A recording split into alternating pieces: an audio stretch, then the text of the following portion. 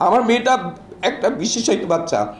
আমি তাদের চিকিৎসা, পড়ালেখার ব্যবস্থা করতে পারছি না। তারা আমাদের মানে বসিয়ে রাখে, ঘণ্টার পর ঘণ্টা বসিয়ে রাখে, আমাদের সাথে দেখা করে না মিথ্যা আশ্বাস দেয়, আজকে বলে ছয় মাস পরে দিচ্ছি। এই বলে আমাদের প্র- প্রজেক্টের সকল কাস্টমারদের কাছ থেকে তারা টাকাও কালেক্ট করে নিচ্ছে। আমার ছোট বাচ্চাটার প্রশ্ন যে, মা, আমরা কি আসলেই গরিব যে আমাদের থাকার জায়গা নেই?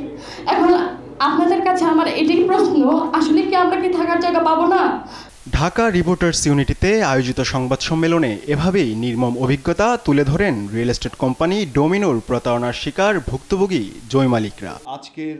রাজধানীতে একটি বহুতল ভবন তৈরিতে যেখানে সময় লাগে তিন থেকে চার বছর সেখানে এক যুগ পেরিয়ে গেলেও ডোমিনোর স্বেচ্ছাচারিতা ও অব্যবস্থাপনায় এখনও অর্ধনির্মিত অবস্থায় রয়েছে অসংখ্য ভবন। নানা তথ্য তুলে ধরে সংকট সমাধানে সরকারের কাছে দাবি জানিয়েছেন ভুক্তভোগীরা।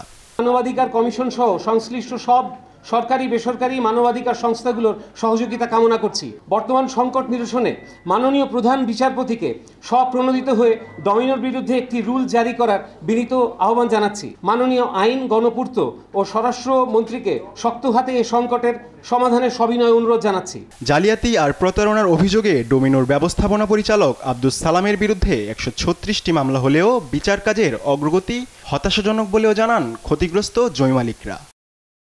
আমির হামজা দেশ টিভি ঢাকা। আমাদের আজকের